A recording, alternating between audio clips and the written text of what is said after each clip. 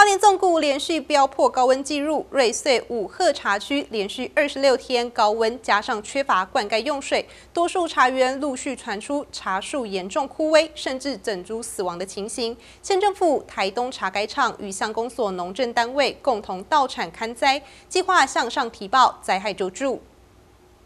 放眼望去，本该是绿油油的茶园，在高温艳阳的曝晒下，呈现一片焦黄的巧克力色，甚至有些茶树整株枯死，无法生产。严重的旱灾，茶农无语问苍天。大概也有到两成左右吧。对，因为有一些茶茶树基本上都已经枯死了。对，那变成后续我们就是要再补种。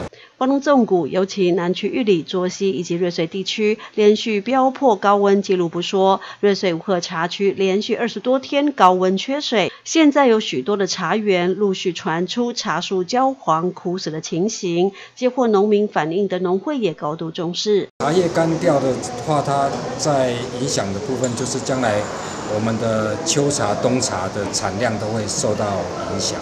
这一次茶园的旱灾，农会总干事黄胜煌出估将近三到四成的受害面积，也引发上级农政单位的关注。今天上午，包括了县政府、台东茶改厂以及乡公所农业课，也都特别到场看灾。虽然农水署目前也已将五合台地纳入喷灌区，并且也积极建制灌溉设施系统，但也缓不济急。现阶段，台东茶改厂茶作监制茶股股长罗世凯则呼吁茶农做好浇灌水、草生管理等等的相关抗旱措施，降雨过后进行修枝，逐步恢复茶树树势。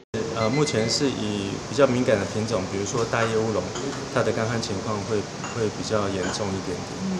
哎，那其他品种呃也有发生一些这个呃干旱或者生长迟滞的情况。品质会不会有影响？这样？呃，对，它如果说是呃比较严重的话，那茶农可能要去做一个呃以后降日后降雨之后，现在还不能做，降雨之后呢还要做一个修剪的一个动作。那让茶树重新萌芽啊，因为焦枯的部分一定要那个修剪掉。吴鹤茶区茶园面积将近七十多公顷左右，经过农政单位上午进行茶园旱灾会勘后，初步受害面积超过百分之二十，也即刻提报中央灾害救助。乡公所表示，待公文到所后开始受理。记者池玉兰瑞穗采访报道。